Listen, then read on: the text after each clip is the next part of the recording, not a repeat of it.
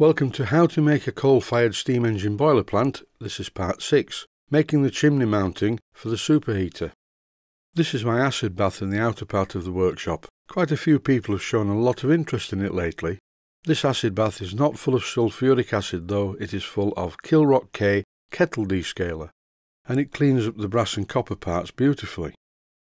And I've just removed the boiler top cap from the acid bath.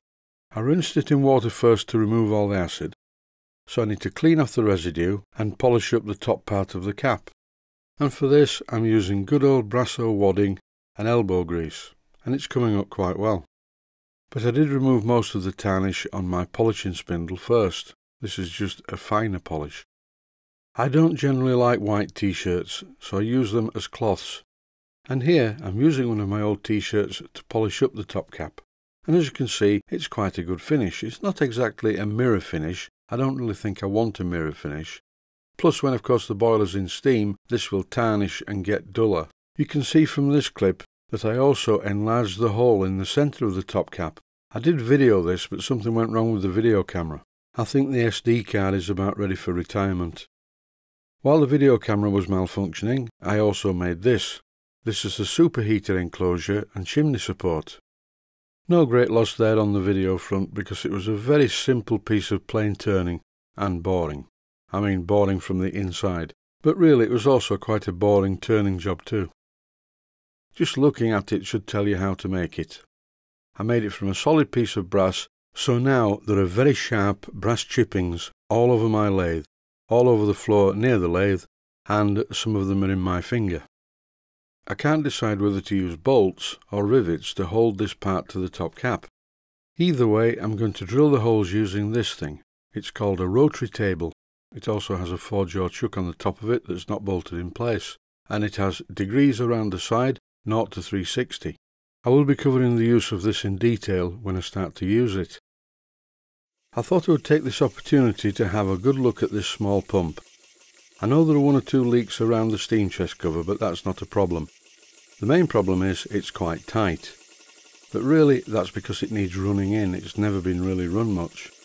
And currently I'm giving this a run. I oiled it thoroughly in every area, including the water chest, because the water pistons are lubricated by the water going through the pump.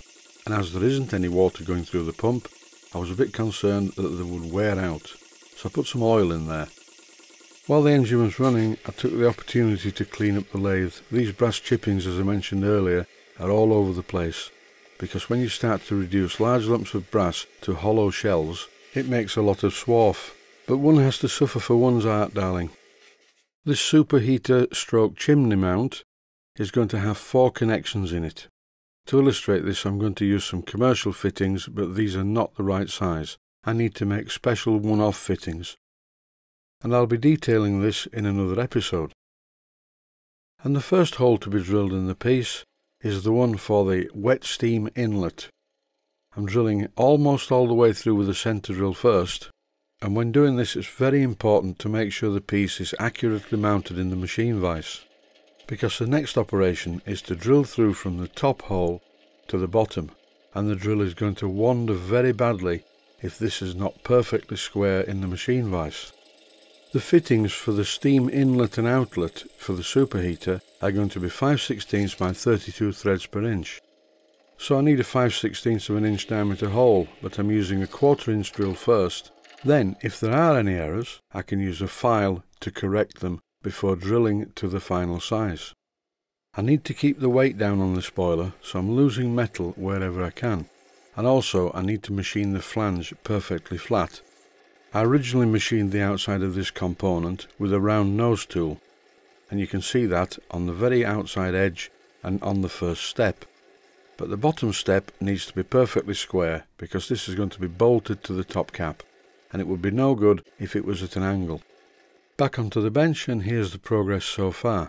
In this clip you can clearly see the wet steam inlet on one side and the dry steam outlet on the other side. But the superheated element, or in this case steam dryer coil, needs to be made in one piece, so I'm going to turn some special fittings up from this piece of hexagon bar. More about this in another episode. I drilled another two holes in the fitting. One of them is for the exhaust inlet, and this one, the smaller one, is for the blower inlet. And of course you've already seen the wet steam inlet and the dry steam outlet. The steam inlet and outlet is really a straight through connection and all that is in between these two connections is a coil of tubing inside the housing. And as this coil is going to be immediately above the fire tubes it will get hot and dry the steam. When I put the fitting in place you can get the idea.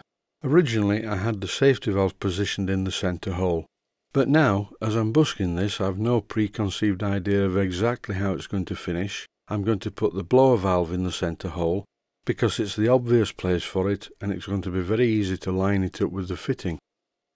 I think today I will pay a visit to Blackgates Engineering and buy some copper tubing to make the chimney. But once again, that's in another episode.